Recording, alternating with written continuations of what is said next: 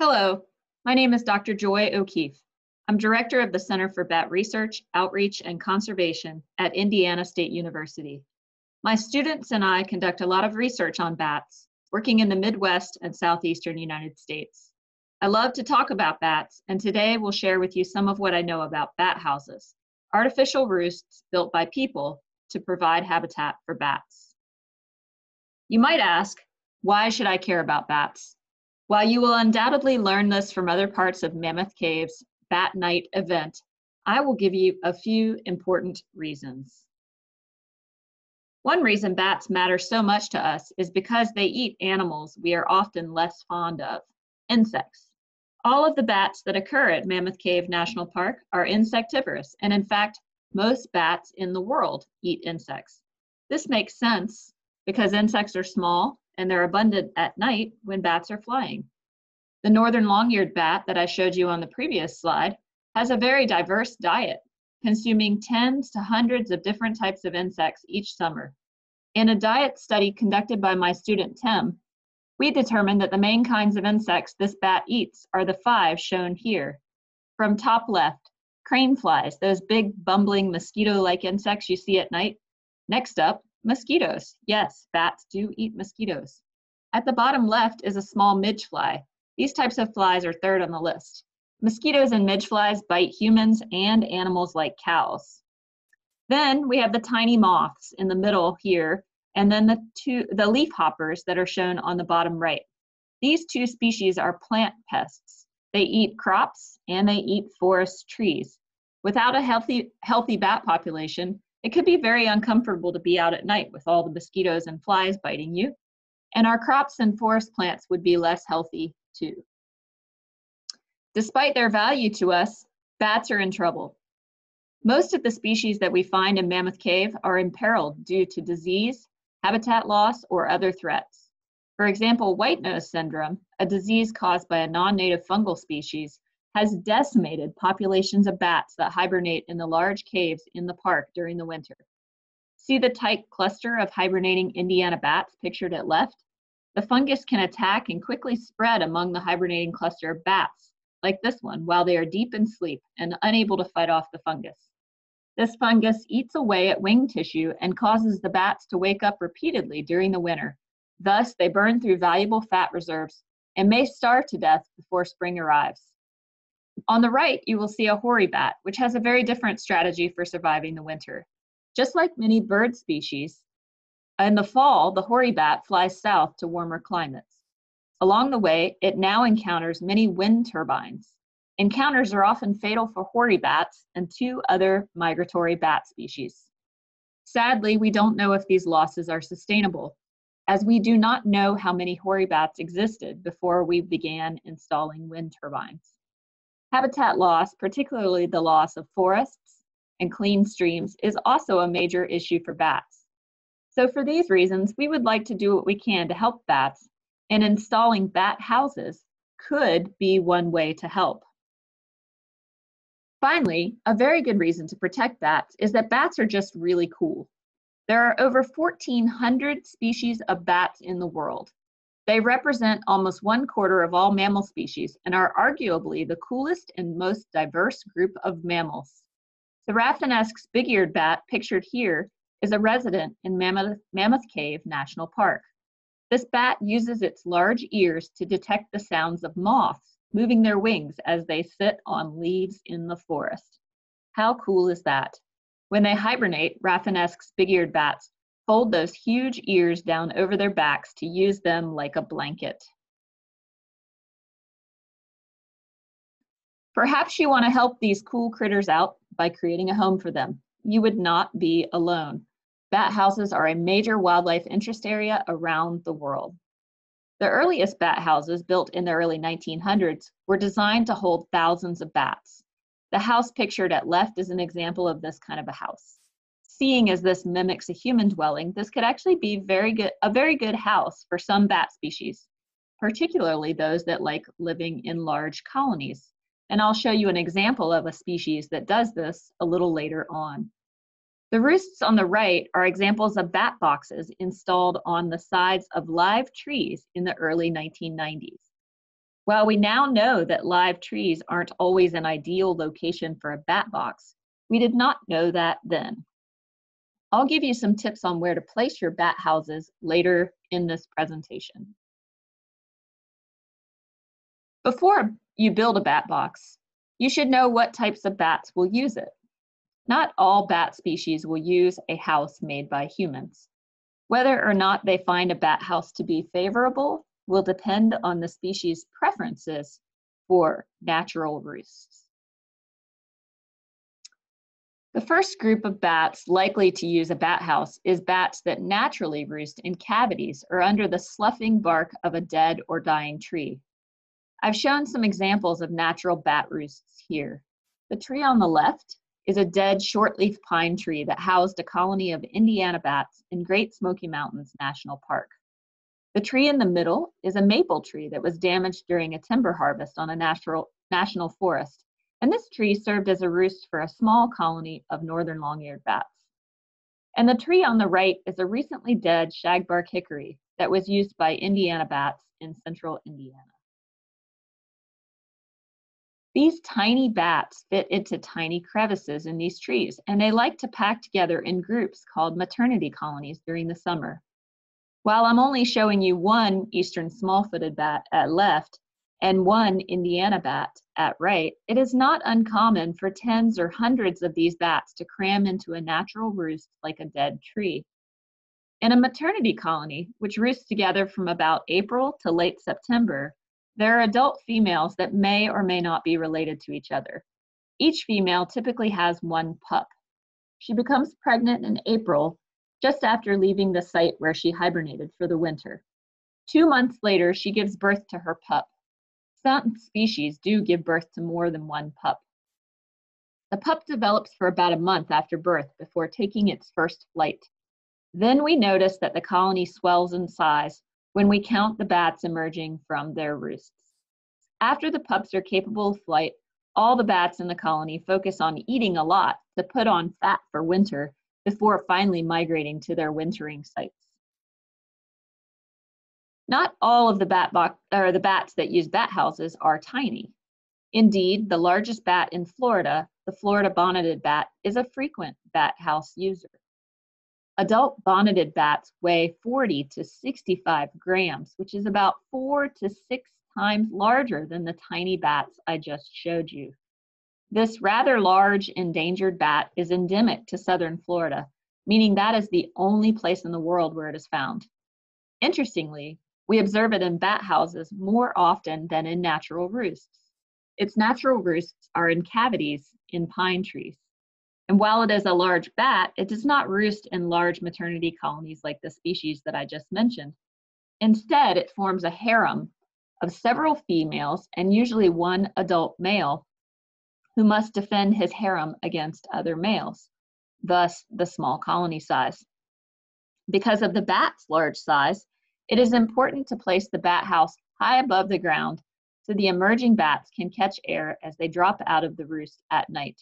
And this is also important for any other bat house, although the height varies depending on the size of the bats that inhabit the house. Another group of bats that will use bat houses and buildings actually is bats that are naturally inclined to roost in very large trees with very large hollows. As humans have altered our landscapes, these types of trees have become really uncommon. In fact, it is very rare for us to find a bat using such a tree unless we are working in swampy areas where large damaged trees tend to be more common. While these large hollow trees were once found along major rivers in the Midwest, we've mostly cleared those trees away to make way for agriculture. The big brown bat is an example of a species adapted for using large hollow trees. Ironically, as humans cleared away the big trees these bats depended on, we built up other structures in which they could roost houses, particularly attics, and barns. If you or someone you know has bats in their belfry, odds are it is a colony of big brown bats. This is a very adaptable species that is found across almost all of North America. Accordingly, it is also one of our most common bat house users. Big brown bats are about twice the size of the smaller bats I showed earlier. They like to roost in large colonies, sometimes hundreds of bats. Therefore, if you are trying to provide a home for big brown bats, you may need to build a bigger bat house. The final group of bats to discuss is those species that roost in caves during the summer. One in particular that you may have heard of is the Mexican free-tailed bat. This species is well known for roosting in large colonies in rather large caves across the southwestern United States, and of course ranges down into Central and South America. Pictured here is Bracken Cave in Texas, which houses literally millions of free-tailed bats during the warmer months of the year. Some of you may have visited Carlsbad Caverns National Park, where half a million or more free-tailed bats depart from one of the park's caves each night. The free-tailed bat has been expanding its range across the southern United States in recent years. Like the big brown bat, this species has taken a liking to roosting in man-made structures, typically buildings, which it finds to be a suitable surrogate for cave roosts. But unlike the big brown bat, the free-tailed bat will roost in colonies of thousands or even millions of bats. So a standard bat house is not going to be sufficient for this species. Recall the very first bat house I showed you, the very tall structure that looked like a building. Such a structure was designed for housing a very large colony of free-tailed bats. Do those structures work? Stay tuned for the answer to that question. Now that you know which types of bats you could attract to your bat house, Let's look at the type of structures that we know will work for bats. Bat houses made of wood are often successful. Pictured at left is a rocket box design where bats have access to the roost on all four sides. This roost is meant to mimic a tree, giving bats options for roosting high or low, on the south side or on the east side, according to their preference. The box in the middle is also a wooden rocket box with both an outer and an inner chamber. The roost is built around a wooden 4 by 4 inch post. It's critical to use untreated wood when building bat houses, as the bats will press right up against the wood while they are roosting for up to 15 hours a day. Research in Europe has shown that treated wood can be toxic to bats, so we always avoid it when building bat houses. The roosts on the right are flat-faced boxes with multiple chambers, also made of wood, at the end of the presentation, I'll give you a link to a website where you can find a plan for a bat house similar to this one. Note that these houses are not built around a post, which also makes them easier to install. In fact, some people install these flat-faced bat houses on the sides of buildings or two on a post as pictured. Another thing to note is that all of these boxes are relatively large, with room to hold tens to hundreds of bats. Oftentimes, the bat houses that I see in stores are very small. This means they're unlikely to be suitable for housing a full-size maternity colony of big brown bats or Indiana bats, for example. Now recall the free-tailed bat that lives in extremely large colonies. Scale the wooden rocket or flat-faced boxes up quite a bit and you'll have yourself a box fit for free-tailed bats. This structure pictured here contains many, many crevices accessible from underneath the box. It was built on the campus of University of Florida in Gainesville to accommodate free-tailed bats that were evicted from a building that was torn down. It took three years for bats to occupy the first house after it was built. Now, about 20 years later, the free-tailed bats have two structures to choose from, and about a half a million bats live in these extremely large bat houses.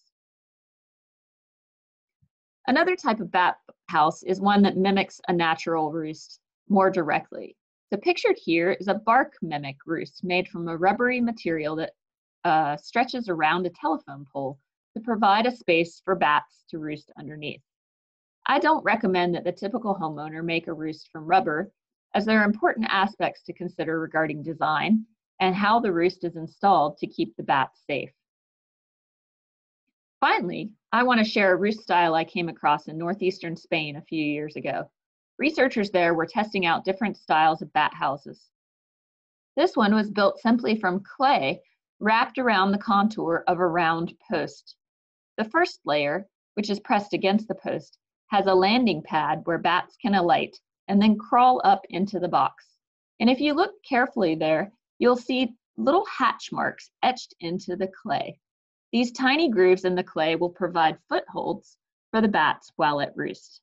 Clay roosts and shorter roosts like this one may hold fewer bats, but they'll also be less prone to overheating than larger roosts. I want to tell you about a few important aspects that you could, should consider when designing and building a bat box or a bat house. First up, the material. If you're going to build a bat house from wood, as most of you will, then I recommend you use solid wooden boards or planks. Pictured on the left is a house made of pine boards. You can see that we scuffed up the wood with the back of a hammer. You could also cut shallow grooves with a saw if you have the time. I do not recommend using plywood, which you can see at center, as it tends to degrade pretty quickly and the glue that holds it together could also be harmful to bats.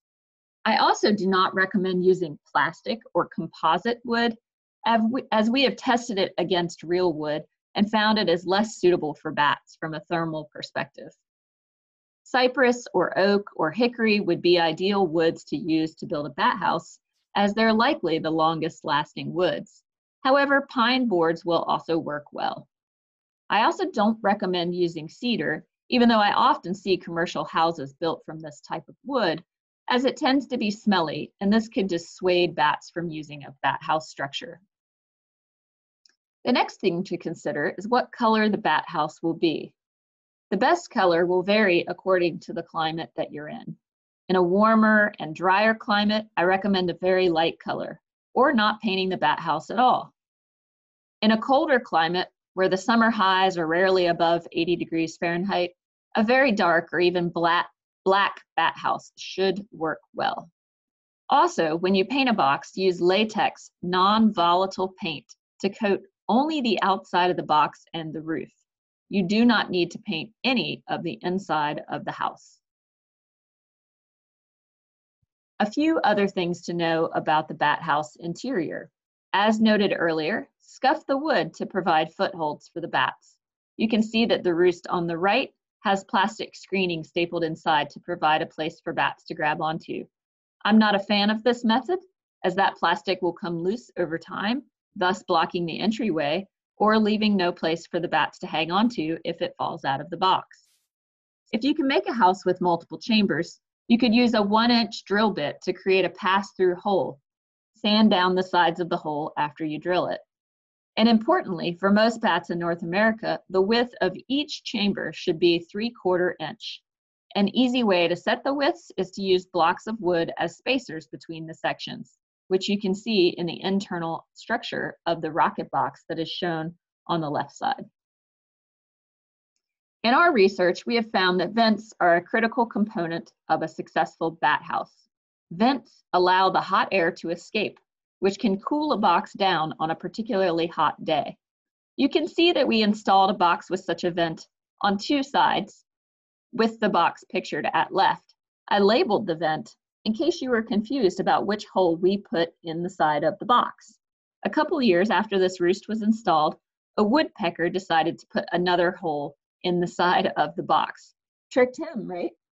Well, interestingly enough, this box is a favored roost by a colony of Indiana bats in central Indiana. So there might be something to adding extra holes or vents, particularly for hot summers. We also experimented with adding a chimney to a roost, as you can see in the box in the picture on the right. A chimney design is more stable and less likely to overheat than a bat box without any vents, as shown by some research conducted by my student Frank. Now that you've built your bat house, where should you install it? As I mentioned, the side of a building could be a logical place to install a bat house. Just make sure it isn't on the north side of the house. Bats do like it to be warm in their summer roosts. Also, don't put it near any night lights, as this will deter bats from roosting there. The roost must be high enough that bats can drop into flight. I recommend at least 12 to 15 feet off the ground. And be aware that if you install a bat house on your house, you may have some unwanted guano or bat poop staining down the side of your house but this guano just means the bats are eating more of your pesky insects. And that guano does make great fertilizer for your garden. If you want a more natural setting, then you can install the bat house on a post in a sunny location. I recommend concreting the post in for stability.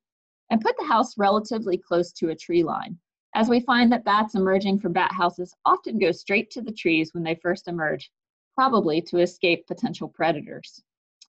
We've been experimenting with put, putting bat houses in clusters of different styles to learn what their preferences are. My student Julia did a two-year experiment putting out bat boxes in clusters. You might try this too, or at least put two houses on the same post back to back to give bats more options. If your property affords this, you could also put bat houses up in different locations. Perhaps one location receives morning sun and one receives afternoon sun. We have data to suggest that bats will use bat houses with different solar exposures during different parts of the summer, as evidenced by a study being conducted by my student Reed. We often see bats switching between natural roost structures too, so there's fairly strong evidence that one roost cannot meet all of the needs of a colony over the course of the entire season. So we put these roosts up in clusters in one of our study area and if you look at this cluster picture, you can see that all of these clusters are uh, within about a half a kilometer of each other, and all of them were used by bats during our study. If you build a bat house and go to the effort of putting it up, will bats use it? The odds are more in your favor if you already have a colony of bats using a building or another type of artificial roost that is nearby. Also, you need to have the right kinds of bats in the area, those that are more inclined to roost in bat houses. And finally, you will have to be patient. It could take years for a colony to find and begin using a well-designed bat house. Recall that it took three years for the colony of free-tailed bats to begin using the boxes on the campus of the University of Florida, and now there are about a half a million bats in those houses. If there's sufficient natural roosting habitat nearby, such as large trees with shaggy bark or dead trees with sloughing patches of bark like those cottonwoods on the right, then bats may select those natural roosts over your bat house. Don't feel bad. Perhaps there's a better place you could put your bat house, like a park or more of an urban setting, where a bat house may be more attractive to bats. There are other ways that you can help bats that don't involve carpentry if that's not your thing. If you attended Bat Night and heard from me and other researchers, then you are undoubtedly more of an expert on bats than you were yesterday. Please share this knowledge with others and help to get other people excited about our night flying friends. You can also protect and enhance natural areas for bats by doing a few simple things. Plant flowers that will attract moths and other insects to provide food for bats. Provide clean water sources. These need to be larger than a bird bath but can be smaller than a swimming pool. And plant trees that will provide food for insects and eventually natural roosts for colonies of bats. For bat house plans, please visit the website of the Center for Bat Research, Outreach, and Conservation at Indiana State University. You'll find plans for a rocket box and a flat-faced box. Thanks for listening, and thanks for your interest in bats.